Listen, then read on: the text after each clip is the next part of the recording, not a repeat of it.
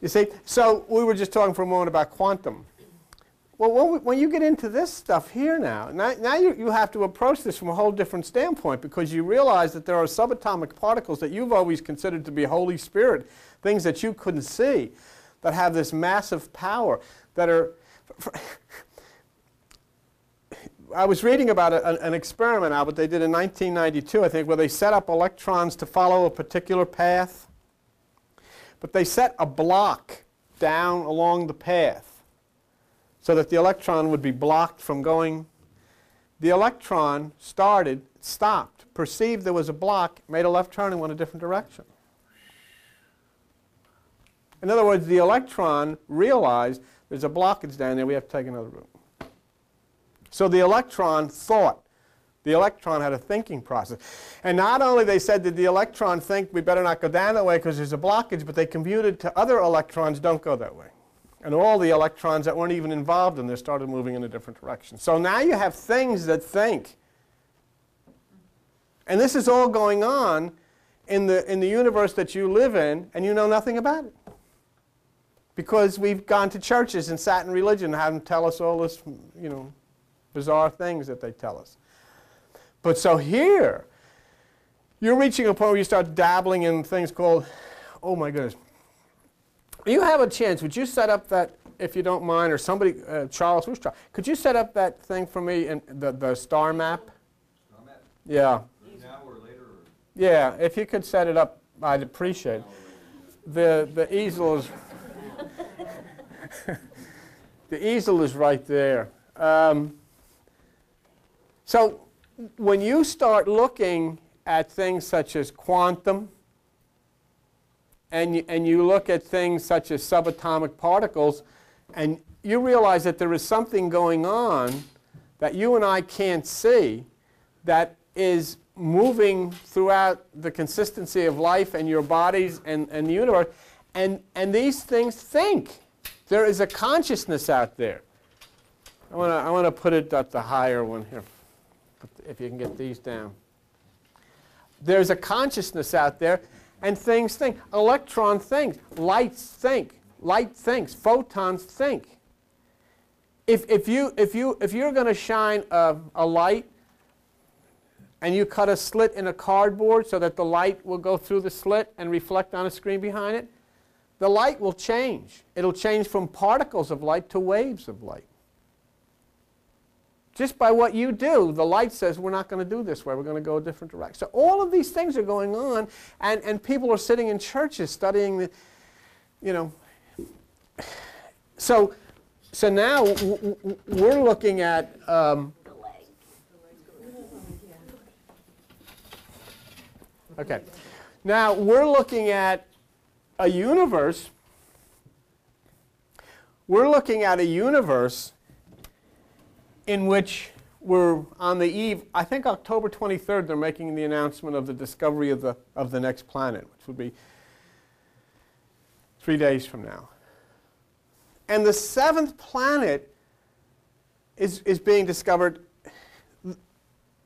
The seventh planet that has a sun to revolve around that's, that in, it, in and of itself is bizarre because that's never been seen before.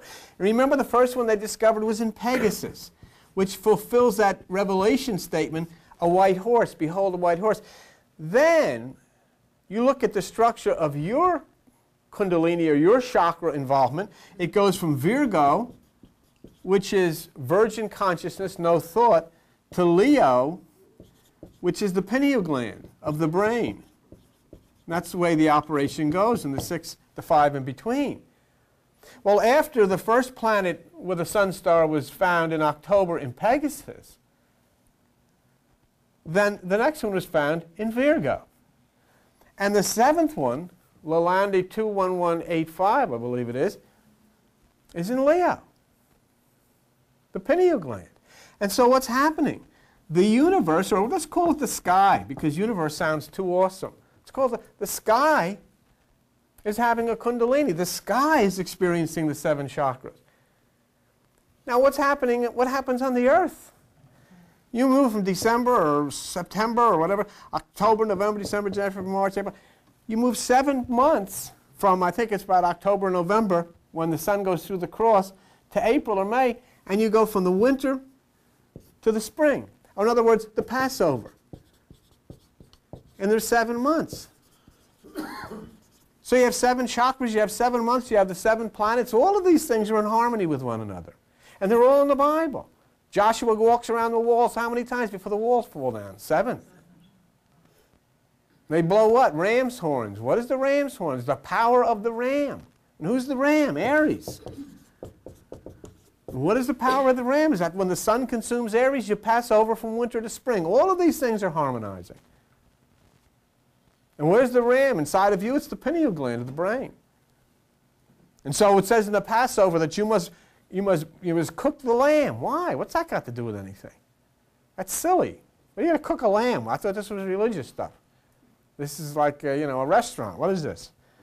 but why do you cook a lamb? You cook a lamb because the, high, the whole idea of this is teaching you that the fire, which is the sun, must consume the lamb, which is Aries, in order for spring to come. And it happens. Because right now the sun is preparing to go through the cross. Look. See what that is? That's the cross. You come up look at it closer when you that's the cross. That's the Southern Cross. The sun is preparing to go through the cross. Right now it goes through it in November. And then it will sit right here. Three days and three nights in the winter solstice in the tomb of the earth. And then it'll make what they call in astronomy, and what the scientists say, the sun will do an RA. You know what an RA is? Right ascension. It'll ascend to sit at the right hand, and it'll consume here, which is Aries, and you'll pass over from winter to spring. That's why Jesus is crucified, because he's the sun passing through, the, through this cross, sitting three days and three nights in the tomb of the winter solstice. I don't think you folks can see this, can you? Can you see it? Well, you know, ask me about it later. and, and, then it, and, and, and then it comes over here where you have your summer solstice. So the whole thing is built around astronomy. How can you possibly function in the way you want to function and the way your children want to function for the good of the earth? And the reason that the earth is, has been in the mess that it's been in, and the reason you've had all the violence and all the cancers and all the terrible things, is because people have totally ignored this. Totally ignored it. It's like going in your house and ignoring your bathroom. Well, you know, I'm not going to use that. Use the living room. The heck with it. oh, sure, it's disgusting. It sounds, sounds terrible. That's what you've done here. You've totally ignored this. You don't know anything about how this operates. Don't know what your what this is this this is your house. You live in a house wherever whatever town you live in, but you, your house is in this house. This is, you live on the earth, and the earth lives in this house, and you know absolutely nothing about it. And the people that you've gone to to give you instruction on how to live life in churches have told you, stay away from this. You know, stay away from this. And so now, as we find that the earth is moving through the new age of uh, Aquarius and, and that the planets are being discovered and so forth and so on, and the, the, the sevens are harmonizing, and we learn and we come to the point of saying, well, now we should study the seven seals. And you, in order to study the seven seals, you've got to go through three chapters. You can't just go to chapter six is where you open the seals. You can't go there. You have to go to Revelation 4, preparatory. Five is the occult power, and six is the opening. And today we're going to complete four. We're going to wrap four up. We're going to wind it up. Four. So we will have completed the preparatory and moving into the power aspect of the seven seals before we begin to open them one by one. What are some of the things that we learned? So far. Okay? In, in, in, in, reading Revelation 4, first of all, we, we understood about the door. There's an opportunity. You have an opportunity because you're sitting here and you're hearing this stuff. And what's beautiful about all of this is it's totally up to you. You can thumb your nose at it, like most people do, or you can get involved in it, and that's up to you. If you want to get involved in it, I'll tell you right now, you cannot possibly get involved in understanding what quote unquote God is about, without uh, some way getting involved in understanding what life is about, what science and what nature is about. You don't have to be a rocket scientist, but I mean, you can't go on living your life dabbling in Noah's Ark and Adam and Eve and all of these stories that are symbols of scientific truths. We learned about that. We learned about the trumpet, which is Om. You have an opportunity, and the first thing that you have to understand is there is within you this sound, which is Om. There is within the universe that sound, which is Om. So, so the opportunity first of all, brings you to a, a confrontation with yourself. We learned that. We learned of two things. We learned about jasper, which is white, and we learned about sardine, which is red. And we knew that as much as we turn within ourselves to find Om, there is the need for a purified mind, which is separating from thought, and our emotional nature to be restricted or to be brought into this thing. So the, the use of our emotional nature and our mind is important to understand. We learned about the rainbow, remember? The rainbow, which has the seven colors and the seven chakras. And it's a razor thin rainbow. It's a rainbow bridge that takes you through from the earth up into the, uh, through the water to the sky, uh, up to the fire. And this rainbow bridge is very narrow and sharp like a razor. And many people start walking up that bridge, but never ever do get to the other side because it's so easy to fall off. And those are the distractions I'm talking about. Sometimes if I say things that people get upset about and say, well, I'm trying to put, you know, I'm putting people on guilt trip, and that's not the case. I'm just telling you what the words say. I mean, you know, why, if somebody can tell you, hey, look, if you're driving your car on a, on a dark road somewhere, and you don't know that uh, the, the warning signs have been taken down, and you're going to go over the end of a cliff, and your car's going to explode, and you and everybody in your car is going to get killed, wouldn't you want somebody to say you shouldn't do that? Is it bad? Is that putting anybody on guilt trip by saying, you know, you really shouldn't go that way? But I would love to see for you is a consumption in this thing to the point where as this unleashes itself and, and turns loose all of this wonderful power in this, in this age of enlightenment, that you're part of it. You can't be part of it if you play. I had a fellow last night talking to me. He said he's been through every conceivable meditational technique that there is. He has studied every book, he's gone to every type of meeting, and he's never found anything. And he's done it all. Even went to India or somewhere. And he, and he, and he said, What the heck's wrong? And this is what I said to him. I said, you know, I'll tell you something. With all the techniques, with all the things that have been written about meditation, there's not one person that can sit down with you and tell you that they've experienced anything, other than what some type of an emotional experience they've had while sitting on the floor. And what has that done for starving children? What has that done for the abused animals? What has it done for nature? What has it done for people? Nothing. And so I said, well, then you have the opportunity. You can either try to do it or you can let God do it. And that's the beautiful thing. You don't have to know. All you have to be willing is to walk on this bridge, but you have to at least put some time into it. You have to discipline yourself. And then the things will happen, and the things will change in your life, and the things will change in your body, and all of these things will start to develop for you because you tried. But all that re- is required of you is to be still. It's like Vinny was saying, if you sit on a plane and they put guitar or whatever, and just to be still and, and to stay with that and to realize there is this wonder inside of you and let God bring it to you. Let God find it for you. Let God light it up for you. And don't be too anxious. Be as anxious to touch Kundalini as you would to stick your finger. If I was to take that light bulb out of there, would you stick your finger in it? No, you wouldn't. Why? Because it'll whack you. Well, if you touch this stuff and you don't know what you're doing, it's going to whack you too. But once you understand it, as we're going to, you're going to understand it, and then you touch it, it's a whole different thing. It's a difference of having your back turned to the wave and you get hit in the back of the head with a big wave or having a surfboard and riding it. So we learned about that, and we, we learned about the 24 seats, remember, the 4 and 20 elders? And we learned about, this is the 24 right here. The zodiacal makeup, the universal makeup through the zodiac and through the constellations is, made, is, is, is charted through astronomers in 24 sections. It starts right up here and it goes around to 24 o'clock. So the 4 and 20 were the 24 and the four, the, the fourfold nature. We understood this. It, it all comes back to us. We learned about lightning and thunder. You know, as a fellow was saying, well, how long should I meditate? Well, what does it say? What does Jesus says? As lightning comes from the east to the west, that's how fast it comes. How long do you have to meditate? How long does it take for lightning to flash?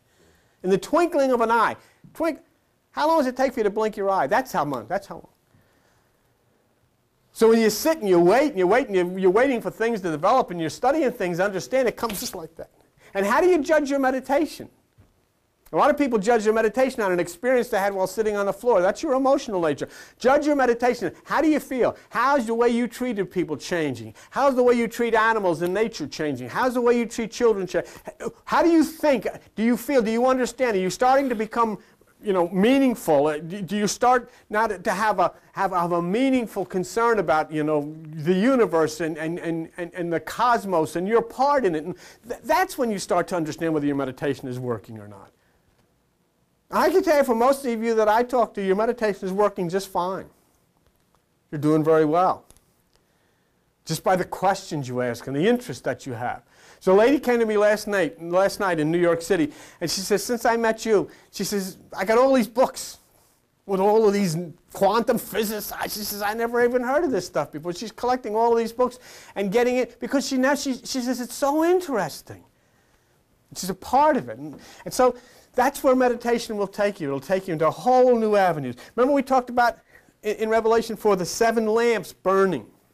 Because the sun has to go through the seven months. And the solar plexus fire has to touch the seven chakras and light the seven lamps. And then we, they talked about the crystal glass sea, remember? The meditative aspect that, that, that you just float on this, on this sea like crystal and the, and the, in, in the solitude of it and the, and the clarity of it. And we talked about the eyes and the being able to see, the perception, the being able to understand. And then the four beasts the lion of Leo, the calf of Taurus, the man of Aquarius, and the eagle of Scorpio. So if you open to page 1004, we probably have five minutes to do the rest of this, and uh, but we don't have to rush. And I'm not going, you know, and I, you know, I'm not, I'm just not going to rush this now uh, because there, there is no need for that. It's much, much more prudent for us just to take our time and. Um, do this in a way that you understand it and you feel comfortable with it. So basically, what we've learned so far in Revelation 4 is that we and this universe, this cosmos, are, are, are one entity, and we interact with each other. You cannot be separated from the stars. You cannot be separated from the subatomic activity that goes on. You cannot be separated from that which is nature. That's been our downfall. It's, a t- it's been terrible. I mean, God, whatever you want to call it, gave you the earth, the most magnificent jewel in, in, in, in the universe, a magnificent place. The Alps and Hawaii and oceans and music and ice cream and pussycats and all of these wonderful things were made. And what have we done with it?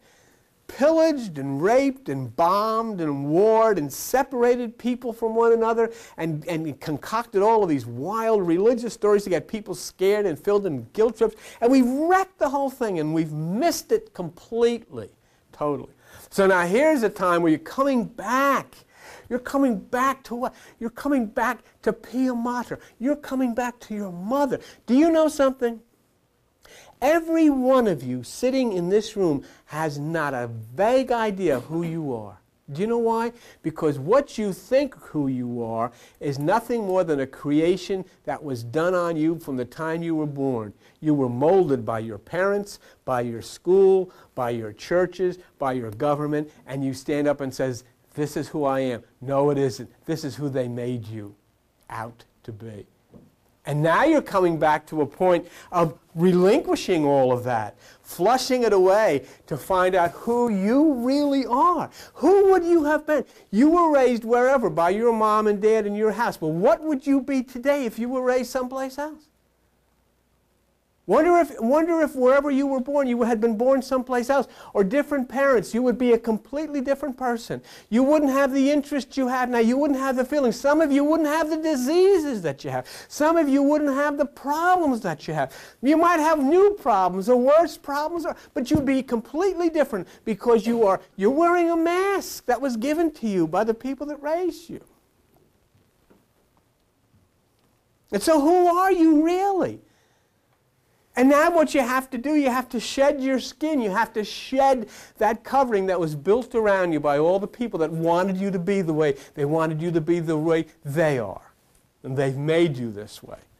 Now you're ready to shed all of that and return to Pia Mater, return to the tender mother, return to that which is the cosmic identity which you had before they put your hands on. When you were in the womb, you were the universe. You were part of God. When you came out of the womb, you were part of God. But then somebody swept you up into their arms and you became a challenge for somebody else to raise and make the, to their image and likeness. Well, that's what you are.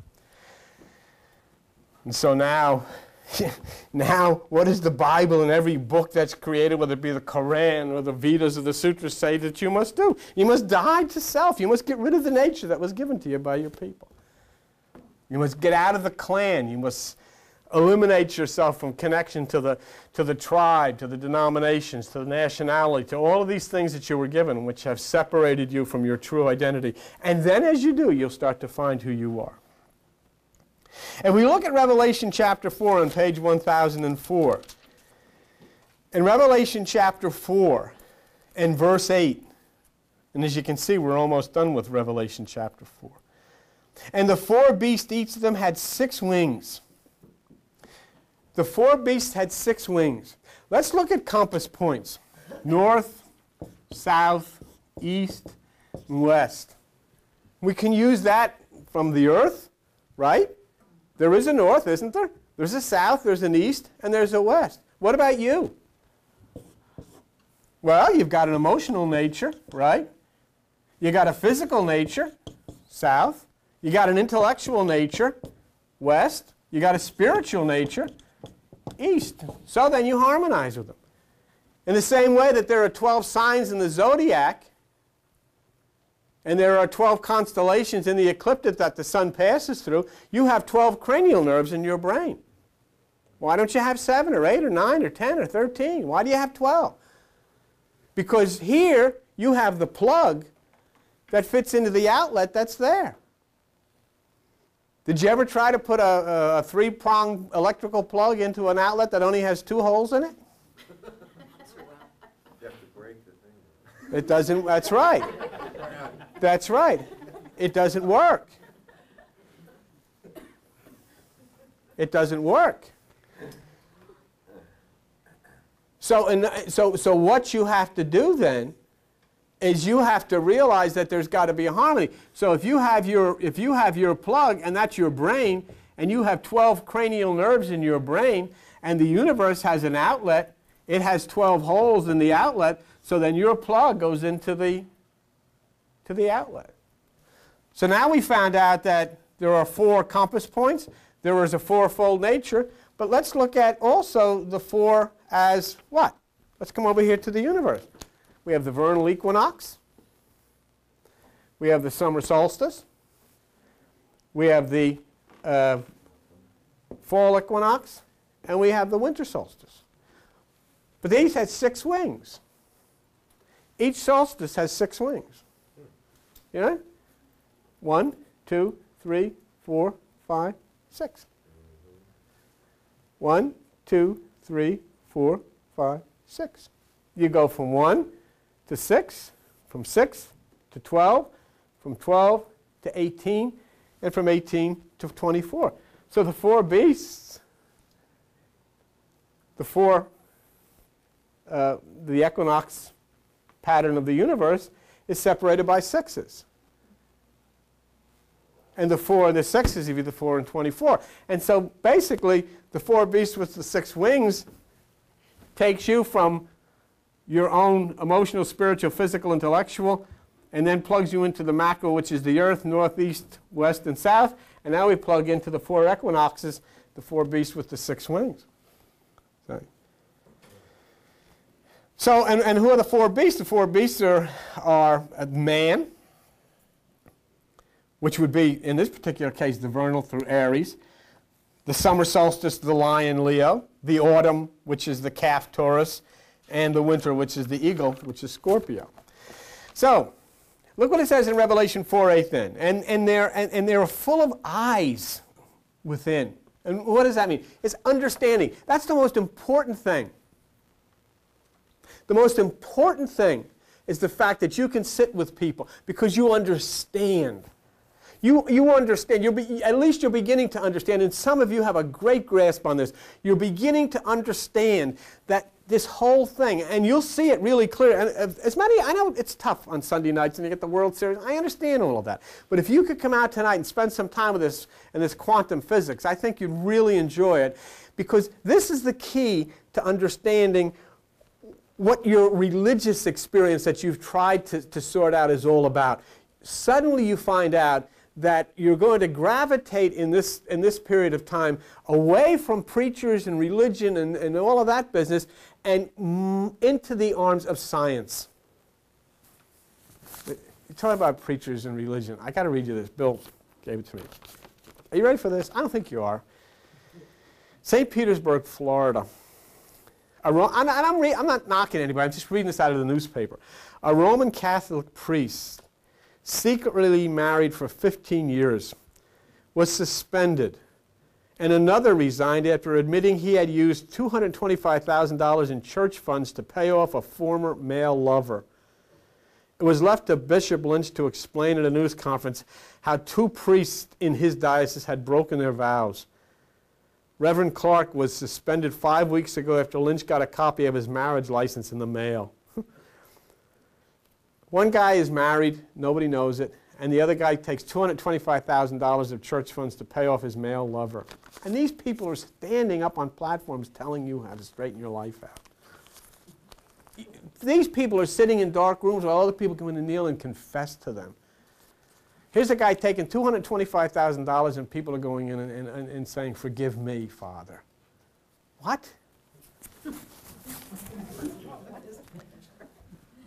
But they, they but you know, but these people have set the foundation for your children. Your little children go in and are taught by these people. I mean, let's, you know, look around and so now we see, isn't it time to answer to a higher authority? Isn't it time to, to, to, to, to get away from all of these things, these people? Uh, there was a show on television in India. They have all these people that can make things happen, you know, and and then there's, there's, a group going around in India in a pickup truck, and they're all fake. They're all, they're all, you know, sleight of hand guys. It's all fake. It is all a fraud. What happens must happen through science.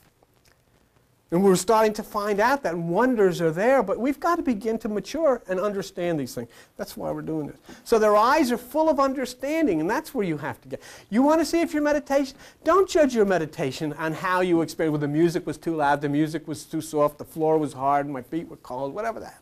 Don't judge it by that. It has nothing to do with it. Remember, it comes to you in the twinkling of an eye as a bolt of lightning. You could spend four and a half hours in meditation, and actually, the input from quote unquote God could be less than a second. Less than a second. Blink your eyes, that's it. The rest of it's what? For you. Go ahead. Listen to them, whatever. Less than a second.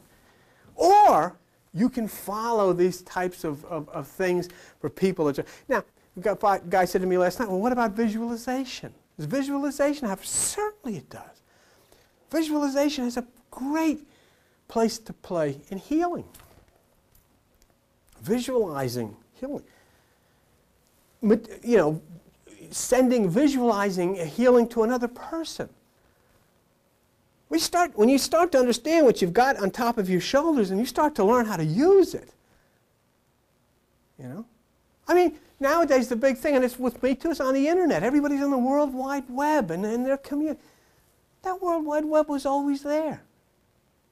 Nobody, it's always been there. It's been there for thousands of years. We just learned how to use it. Okay? And this is, this is what you're doing now. You're starting to learn how to use, talk about the World Wide Web. This is Microsoft, Windows 95. You got right between your ears. But you don't know how to use it. And why don't you know how to use it? Because you've gone to places where they said, don't touch that. Don't touch this. Like they used to tell you when you were a little kid, don't touch that. You'll go blind.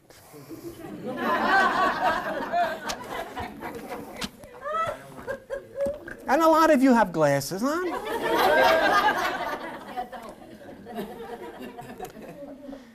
but go to page 789 and look for a minute. And look what Jesus said. And he was talking about the people that have instructed you. The kind of things we're reading about here, uh, in, you know, in these newspaper articles about religious people who do these things and, and then cut up and are telling other people how to live. It says in, in Matthew chapter 13, and in verse 13, I speak in parables because they seeing see not, and hearing they hear not, neither do they understand.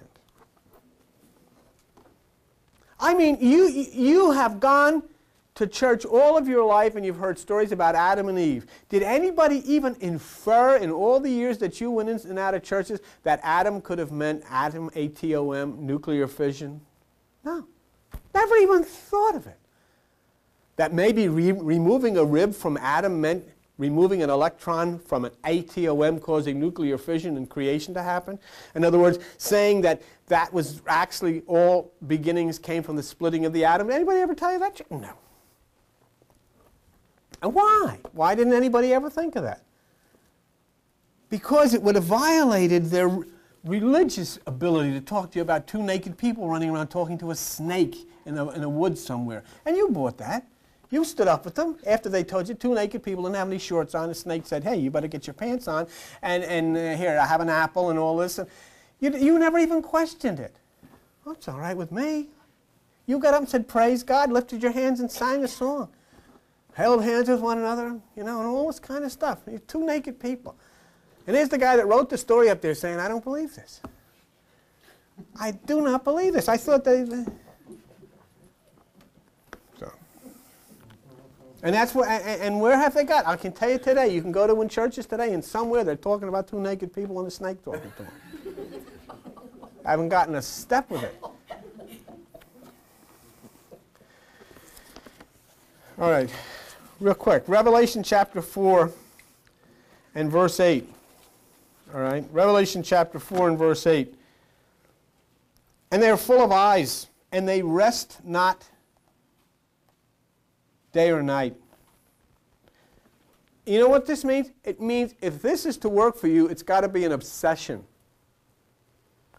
You read all of it. You know what? You know what reading all of this stuff does for you? Nothing.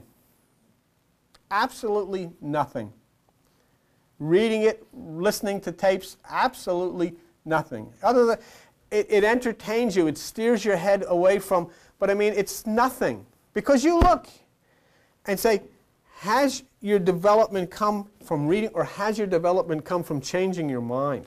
And what has changed your mind? It is the power inside of you. See? So distractions come. I just had a, a whole week full of distractions. But it didn't take me away from the fact that, you know, when the distractions are over, I have to get home. And I don't mean landing in Newark Airport, I mean landing here, within. And then staying on this rainbow bridge is a, is a wonderful thing, and that power comes within you. And we, we come upon now a great um, mantra that is used by many of the people of the East. And it says in the four beasts, and, and they, with the six wings, we know what that is. And they were full of eyes within, which means perception. And they rest not day and night, which means this is an obsession with you. This is your whole life. You never lose sight of the fact that within you is the I am. And it says, and they were saying, Holy, holy, holy, Lord God Almighty, which was and is and is to come. Kadosh, Kadosh, Kadosh, Adonai Sabaoth, which is a great uh, um, koan and uh, mantra. And so, so, you know, there is one within you and there is one without in this cosmos, and both are the same.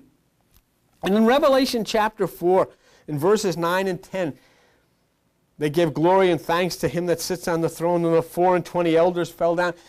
We have the separate identity of the four beasts and the four and twenty elders.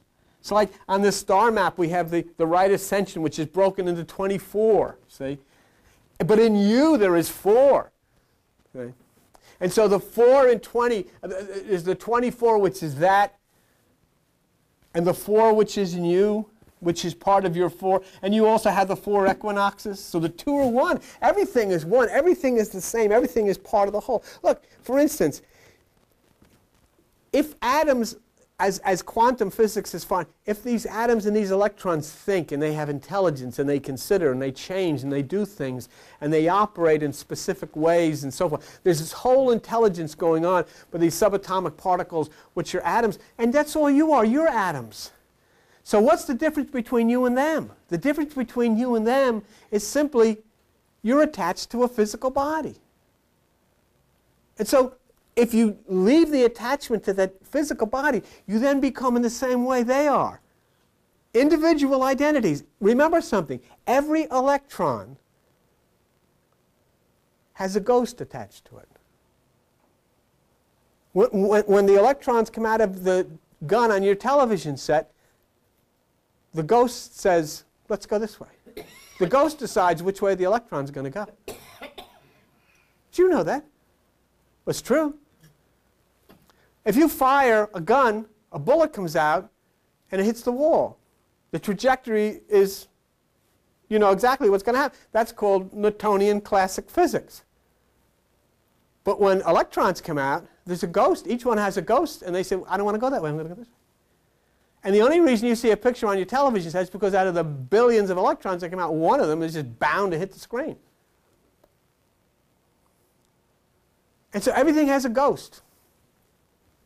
And, and, and, and now, when you understand that, and you understand subatomic particles and the, and the wisdom and the intelligence and the power out there, then what is the Holy Ghost? You get into, you know, it's just like if you, you study in quantum when they talk about the observers and things change by the observer. Go into the Bible and look and look up in your concordance sometime about the watcher. The watcher. Why is the watcher important? The watcher important the same way in quantum it's important because the observer observes and things change. The basis of quantum physics is that by observing something, you change it. And when you study and you meditate, you're observing. When you observe something, you change it. Observe yourself, you change it. Mm, and the difference between religion and, and physics is they've proved their case. Albert Einstein had a lot of trouble with this stuff. He dropped out. He said, I can't deal with this. But they said, Albert, why don't you come to the meetings? Because no matter, he was wrong. Although he had contributed so much to the theory of relativity, he was wrong. look what happens in verse 10 of Revelation chapter 4. They cast their crowns. What does that mean? You cast your crown. It means you throw down your, your, your intelligence, you throw down your thought process. Or as Jesus says, you take no thought, you separate from the thoughts of the mind. You, you throw down your crown shutting down your mind and totally submitting to the right side in divine consciousness. Shutting down, and when you shut down your mind and the crucifixion of the lower senses takes place and the veil falls, and then you are exposed to Pia Mater, your heavenly mother, who dwells within you and looking, waiting to embrace you. You have inside of you, right now, as you're sitting here looking at me, you have inside of you, at the right hemisphere of your brain, beyond the arachnoid, this thing called Pia Mater, waiting, waiting for you, waiting for you to come home. And you've been so distracted by all of the things of the earth that we, we haven't even known that she's been there. But then we find out that when Jesus was crucified, which means when that which is the sun, the, the, the lower solar energy of the flesh is crucified in meditation, and the web falls, and Pia Mater is standing there because it says when he died, the veil was rent in two. The veil is arachnoid. What I'm telling you, you don't look up in Bibles or New Age journals or anything like that. You look it up in the medical dictionaries of Stedman's and you find out that your brain is the tabernacle in the temple because it duplicates that which is the tabernacle of the temple in the Bible. There's an outer court, there's an inner holy of holies, and it's separated by a veil. Your brain has an outer covering called dura mater, an inner holy place called pia mater, separated by arachnoid, the web. Why? Why is it called pia mater, tender mother, holy mother? Why? Who named it that? Why is the holiest of the tabernacles made exactly as your brain is made? Why? And then who can go in that tabernacle? Who can go in that Holy of Holies? The priest. And what does it say in, the Bible? It says, You have been made a high priest because you're expected to go in there. You know how many people have gone in there? You can count them on your hand, your fingers, because nobody knows about it. Do you know if you were to walk out of this building, do you know how far you'd have to go to find out somebody that knows that the tabernacle of the outer court, the inner court, and the, and the veil is actually Dura Mater, Pia Mater, and Arachnoid, the human brain? Do you know? I would challenge you. You would probably go from here to Australia and you never met anybody who knows about it. How come you know about it sitting in a basement in Forked River? That's weird. But you read the stories. Buddha found it out by sitting under a tree by himself. Krishna found it out by being born in a cave. And where was Jesus? Hanging around with a bunch of misfits at, in, a, in a woods somewhere. It's not the kind of stuff that that booms out to people, but you know, you test it. Is it right? Is it scientifically accurate? Does it make sense? Yes, it does. That's what the tabernacle is. It says in the Bible, God lives and dwells in a, in a, in a, in a, in a temple not made with hands. That's your head. That's your head. And yet you've never ever, in all the churches you've ever been to, in all the religious experience you've ever had, you've never heard it referred to. Never. Nobody's even mentioned it. And you never mentioned it, you never questioned it. And that's how, that's how far away we've gotten from the truth of what life is and what consciousness is all about and what the universe is all about. And so in Revelation chapter 4, verse 11, we wrap it up. You are worthy to receive glory and honor, for you have created all things, and for your pleasure they were created. Look at that. All of these things were created for the pleasure of this thing that we call God. Isn't that interesting? And what's his pleasure? In other words, he created everything for his pleasure or her pleasure. Whatever. But I want to show you something. This is the last thing you have to look at. He created everything for his pleasure.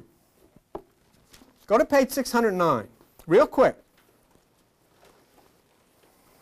He created everything for his pleasure.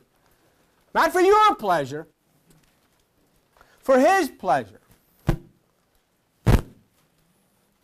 Isaiah chapter 45. Read it out loud with me. Verse 7. Start with the word I. One, two, three. I form the light and create darkness. I make peace and create evil. I, the Lord, do all these things. Whoa! That blows this whole deal, doesn't it? Now, good and gentle Jesus, our holy heavenly Father, he creates evil. What is this? What kind of guy? What kind of sadistic guy we got running around at the ground here? Because for his pleasure it is necessary for each of us to submit ourselves to an energy where light and darkness, yin and yang, good and evil interact. So that we can experience, we can fail, we can learn, we can overcome, we can mature, we can be as God, we can win. That electricity is good in the hands of someone who knows how to use it. It is evil in the hands of someone who doesn't. Your car is good if you drive it for good purposes.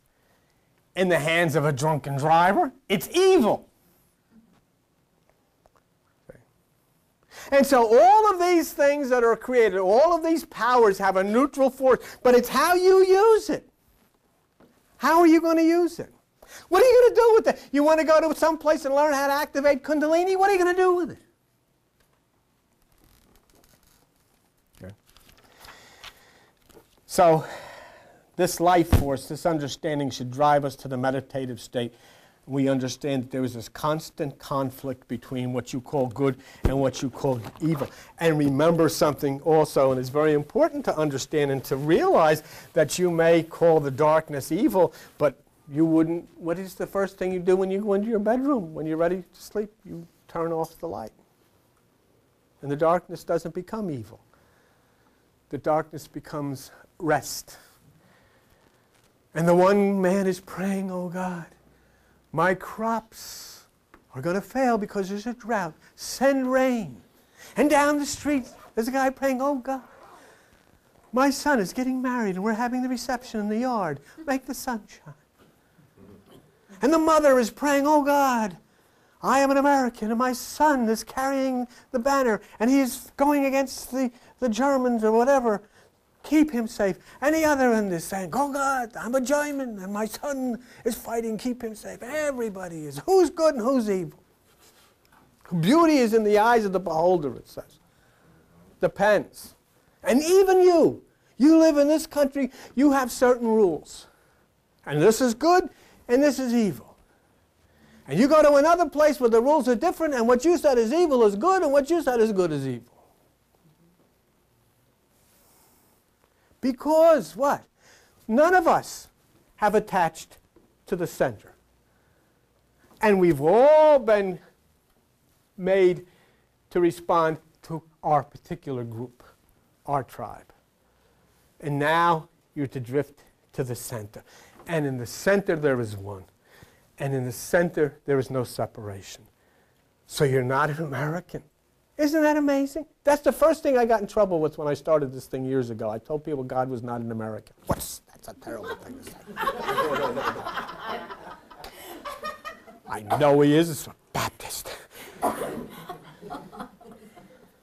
you know? And then, and, and then you find out you're not an American, you're not a Christian, you're not a, you're, you're, isn't it great? We're not, we would just be people. Nothing to fight about. It's like John Lennon says in the song no reason to fight. So we learn.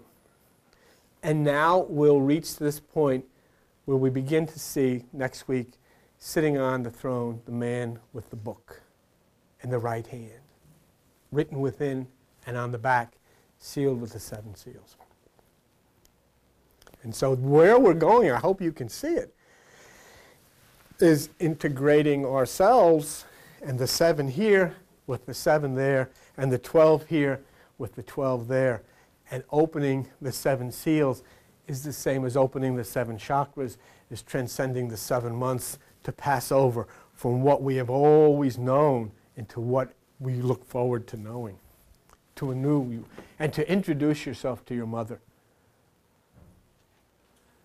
Say, Mom, I didn't know. and all these strange people who taught you their ways, you've given them all up. You're free now. Wipe off all the dust and all the insanity and be free. And just like the little guy in the movie, lift your finger and the other finger will come down and touch yours and the two will light and you'll finally say, just like they said in that little allegorical movie, home. Home. Home. Watch. Bye.